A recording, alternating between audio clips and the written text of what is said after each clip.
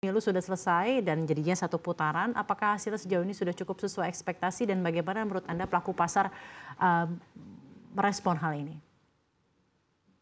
Datanya sudah cukup terreflect ya kalau kita lihat dari hasil uh, pemilihan umum kemarin, uh, di mana kita sempat ada spike di indeks naik ke 7.400 sempat tembus all time high Uh, tapi kembali koreksi terkoreksi lagi di level 7.300-an, which is uh, currently is our strong support. Jadi kayaknya uh, market juga sudah mengantisipasi hasil pemilu yang uh, sudah kelihatan dari dari beberapa bulan yang lalu.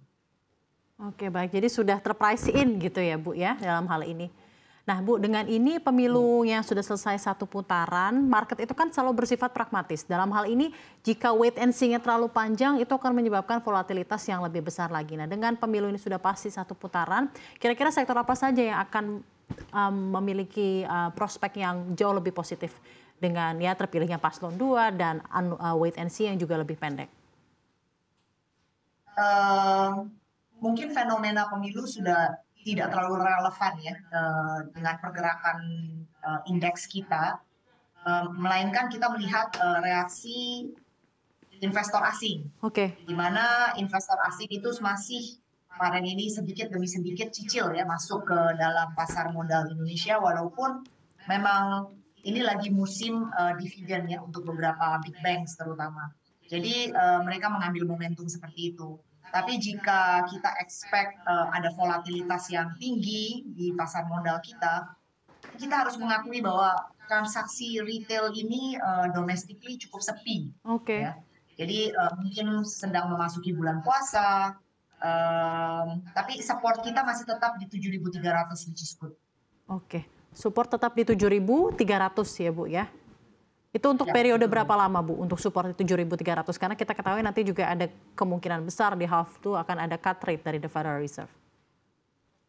Ya, itu masih kemungkinan besar ya. Karena uh, hasil dari Amerika sendiri itu juga masih uh, uncertain kalau saya lihat. Uh, inflasinya juga masih tinggi. Jadi uh, second half things can change. Seperti apa yang mereka sudah bicarakan dari Desember tahun lalu, ternyata tidak ada kejadiannya di bulan Maret ini. Jadi saya mengantisipasi di level 7.300 ini for another another 3 to 6 months kayaknya ya. Oke, okay, jadi masih akan sideways terus ya Bu ya? Sideways di antara kisaran 7.300-an saja ya Bu ya?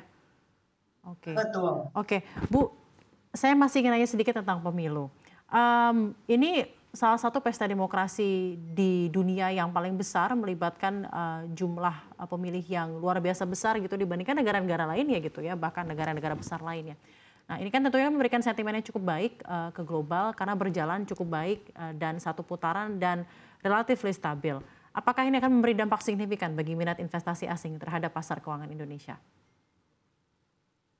Um, tentunya ada kemungkinan ya, karena dengan janji-janji yang sudah diutarakan oleh paslon 2, uh, terutama dengan ekspektasi pertumbuhan yang cukup optimis ya di level 6 sampai 7 persen, um, tentunya ini akan menarik uh, investor asing untuk masuk ke Indonesia. Tapi sekali lagi momentumnya uh, tidak akan menjadi panjang.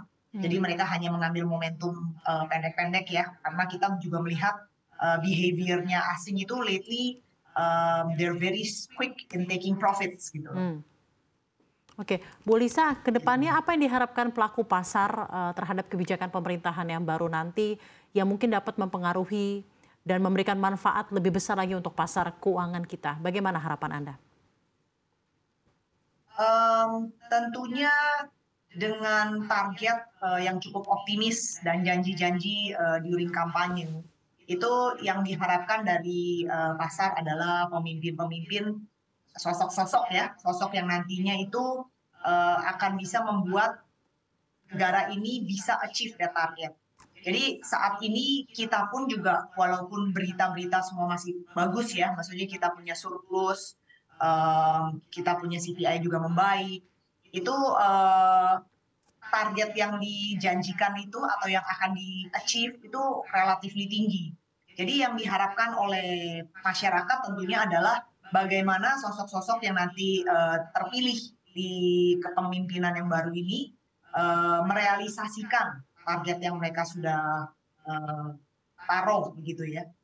Uh, of course efisiensi, terus uh, less bureaucracy ya uh, di dalam kepolitikan. Karena target 6 sampai 7 persen growth itu cukup optimis sih menurut saya. Oke, 6 sampai 7 persen optimis atau ambisius Ibu Anda melihatnya? Karena kita ketahui juga ekonomi global sedang tidak baik-baik saja. Betul sekali, sedikit ambisius, betul. Tapi bukan sesuatu yang tidak mungkin ya, seperti yang tadi Bapak Adi bicarakan uh, di sesi berita sebelumnya. Jadi uh, jika memang sosok-sosok pemimpin yang baik ini contoh ya Bu, seperti kayak Ibu Sri Mulyani yang uh, mempunyai kepemimpinan yang tegas, uh, straightforward gitu ya. Saya rasa nothing is impossible begitu.